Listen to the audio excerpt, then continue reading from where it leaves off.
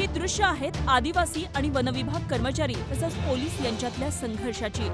मेळघाटात पुनर्वसनाच्या वादातून हा संघर्ष पेटला. एकोणीसशे चौऱ्याहत्तरमध्ये अमरावती जिल्ह्यामध्ये दहिगाव भागात असलेल्या वीस तमिळ जंगलांमध्ये व्याघ्र प्रकल्पाची स्थापना करण्यात आली होती. सुमारे दोन हजार एकोणतीस चौरस किलोमीटर अशा विस्तीर्ण परिसरात मेळघाट व्याघ्र प्रकल्प विस्तारलेला आहे. या प्रकल्पामध्ये अडसर ठरणाऱ्या वीस गावांचं पुनर्वसन करण्याचं ठरलं होतं. त्यापैकी सोळा गावांचं पुनर्वसन झालंय. आठ गावांचं पुनर्वसन दोन हजार आठ पूर्वी झालं आणि उर्वरित गावांचं पुनर्वसन दोन हजार चौदाच्या दरम्यान झालं. आठ गावांचं पुनर्वसन अकोला जिल्ह्यातल्या अकोट तालुक्यात पोपटखेड या गावाच्या जवळ झालंय. या गावांमध्ये आवश्यक असणाऱ्या सुविधा मिळत नसल्यानं आदिवासींमध्ये नाराजीचा सूर होता. याबाबत वारंवार तक्रारी करून त्याचा उपयोग होत नसल्यानं या आदिवासींनी आपल्या मूळ गावात जाऊन बसण्याचा निर्णय घेतला. प्रशासनानं वारंवार विनंती केल्यानंतरही हे आदिवासी तिथून बाहेर निघायला तयार नव्हते.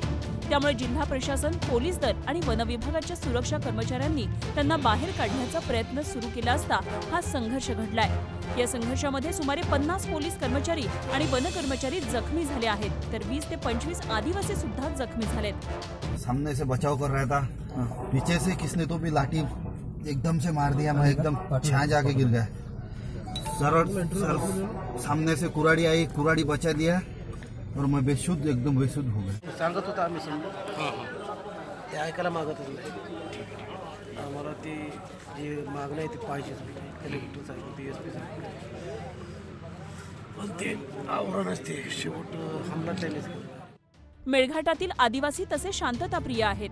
यापूर्वी अशा संघर्षाच्या घटना कधीच घडल्या नाहीत. अशी घटना घडेल असा पोलीस आणि वन प्रशासनाला अंदाज नव्हता. या घटनेनंतर आदिवासी जंगलांमध्ये पळून गेले आणि जंगलांमध्ये पळून जात असताना त्यांनी जंगलाला आग लावल्याची घटना घडली आहे त्यामुळे येत्या काळात व्याघ्र प्रकल्प आणि आदिवासींमधला संघर्ष आणखी तीव्र होण्याचे संकेत आहेत. ही घटना घडण्यामागे काही विशिष्ट संघटना आणि पक्ष आपली राजकीय पोळी भाजण्याचा प्रयत्न करत असल्याचा आरोप होतोय. प्रशासनानं त्याची दखल घ्यावी आणि चौकशीची मागणी होतीये.